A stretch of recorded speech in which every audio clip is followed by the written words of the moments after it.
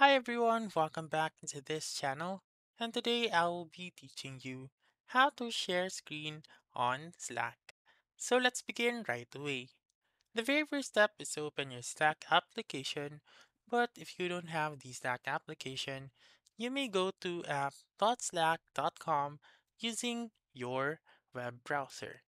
Once you're here, simply sign in with your account and once you have signed in, you may now go to the channel that you want and join or um, start a huddle.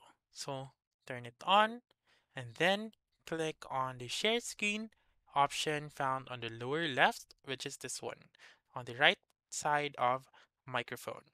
So click on it and then choose either entire screen, a window, or a Chrome tab. So choose whichever you want, click on share, but you may also um, share the audio if you want to, and then that's it. That's how you can share screen on Slack. So that's all for this video. Let me know in the comments section if this works out for you. For more helpful tutorials like this, please subscribe to our channel and don't forget to click that notification bell. Thank you for watching and have a wonderful day.